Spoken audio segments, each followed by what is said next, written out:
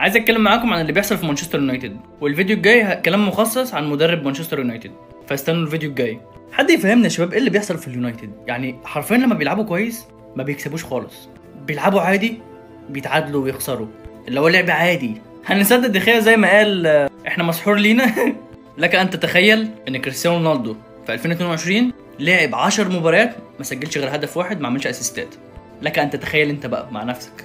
لا وكمان لك أن تتخيل إن اليونايتد عدى خلاص مبارياته السهلة وداخل في شهر مش طبيعي. بص معايا كده. اليونايتد في شهر مارس هيلعب مانشستر سيتي بعدها توتنهام ده في الدوري.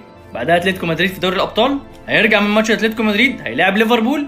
بعد ليفربول هيلاعب ليستر سيتي في أول إبريل. لما الماتشات السهلة اليونايتد بيتعادل ويخسر. هيعمل إيه في الماتشات دي؟ هيعمل إيه؟ أي مباراة من المباريات الجاية دي؟ لو خسر اليونايتد مباراة أو مباراتين مش هيعرف يدخل ال top four ابدا.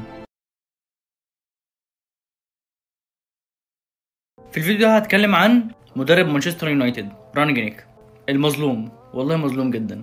هقول لكم دلوقتي ليه. يعني الفيديو ده لجماهير مانشستر يونايتد عشان تفهم إن المدرب كويس جدا والمشكلة مش في المدرب. وهثبت لك دلوقتي. طيب أول حاجة مانشستر يونايتد ضد واتفورد. أنتوا شفتوا مانشستر يونايتد كانت بتلعب إزاي؟ طب ما حدش سأل مانشستر يونايتد ضد نفس الفريق من شهرين ولا ثلاث شهور مع سولشاير كانت عاملة إزاي؟ ما حدش سأل نفسه السؤال ده. يا ترى إيه اللي اتغير في اليونايتد يا ترى؟ المدرب صح؟ آه المدرب. مانشستر يونايتد المشكلة مش في المدرب المشكلة في اللعيبة. اللعيبة بمعنى أصح مش بتلعب بروح مش بيلعبوا رجالة في الملعب. مش عندهم حد يخافوا منه عشان يثبتوا نفسهم أو ما عندهمش حاجة يخافوا عليها بمعنى أصح. فبالتالي كل جماهير اليونايتد بتزوم على المدرب لأن هم مش عارفين الغلط عند مين. ثانيا المدرب العيب الوحيد اللي فيه ساعات بتكون تغييراته. شوفوا اليونايتد كان فين من كام شهر وبقى فين حاليا. المشكلة في اللعيبة. أخبار على يا أسطى. بعد مباراه توتنهام وليدز يونايتد اللي خلصت 4-0 طبعا إحنا قلنا إن ليدز يونايتد اقالوا المدرب بيلسا خلاص. هتكلم عن شوية تحصيلات عن الماتش ده. هاري كين الوحش الكاسر ده اللي أخيرا فاق في الموسم. بعد ما سجل في شباك ليدز بيقلص الفارق بين روني وهاري كين. بمعنى إيه؟ هفهمك أكتر. واين روني سجل 94 هدف في 243 مباراة خارج الأرض في تاريخ البريمير ليج.